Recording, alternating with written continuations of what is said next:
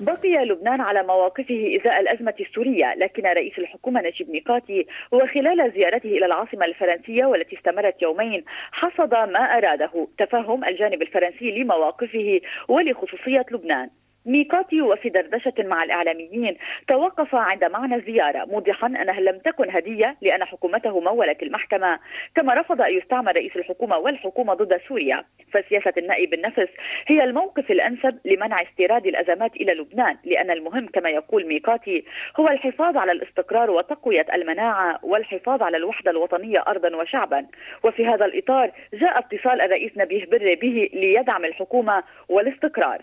وردا على سؤال عن الموقف الفرنسي من النازحين السوريين. أكد ميقاتي أن الحكومة تقدم المساعدات اللازمة للنازحين لكن لبنان لا يستطيع فتح الباب على مصراعيه مبديا خشيته من مجيء مئات آلاف السوريين إلى لبنان وهذا أمر لا قدرة لنا على تحمله كما قال. أما إذا كان المسؤولون الفرنسيون فتحوه بالاتجاه إلى تشكيل مجموعة أصدقاء الشعب السوري فقال ميقاتي إن الجميع يعلم الواقع الجغرافي والسياسي للبنان. لذا أفضل خيار هو أن نكون بمنأى عن الأحداث الجارية وهذا ما أكده وكرره أمام أبناء الجالية اللبنانية في حضور السفير اللبناني بطرس عساكر. بين المغامرة والمقامرة يوجد حرف نقطة واحدة. بين المقامرة والمغامرة نقطة واحدة فرق بالكلمة. نحن لا نريد أن نغامر ولا نقامر بوحدة أرضنا ووحدة أهلنا.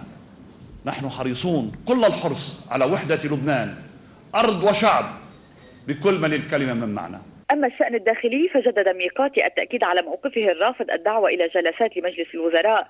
إذا لم يكن هناك اتفاق مسبق على إنتاجيتها لأنه لا يجوز أن يطالب البعض بالتصويت على قرارات فيما قرارات أخرى اتخذت بالتصويت لا تنفذ. وقال لنبدأ بتوقيع مرسوم بدل النقل وبعدها لكل حادث حديث أما حوادث طرابلس فلم تغب عن الرئيس ميقاتي الذي أجرى سلسلة اتصالات لا سيما مع الجيش اللبناني من أجل حسم الموضوع. رئيس الحكومة وفي يومه الثاني في باريس كان التقى وزير الخارجية الفرنسي ألان جوبي حيث شدد أمامه على أن أي اعتداء على اليونيفيل يجب أن لا يقابل بردة فعل تحقق من يعتدي غايته مبديا إصراره على بقاء القوات الفرنسية في لبنان.